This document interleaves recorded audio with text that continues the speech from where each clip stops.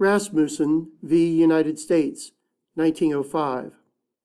Rasmussen was arrested by authorities in the Alaska Territory for running a brothel.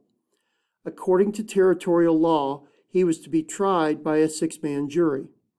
Rasmussen argued that his Sixth Amendment rights were being violated because the Constitution allows him a common law jury of 12 members.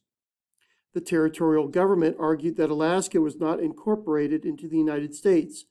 Therefore, the Sixth Amendment did not apply unless Congress legislated the right to residents of Alaska.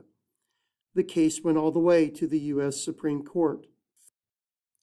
In a unanimous decision, the Supreme Court ruled that Rasmussen's rights under the Sixth Amendment for a common law jury had been violated the court ruled that the 1867 treaty between the United States and Russia stipulated that the inhabitants of the ceded territory were to enjoy citizenship in the United States and that Alaska would be incorporated into the United States.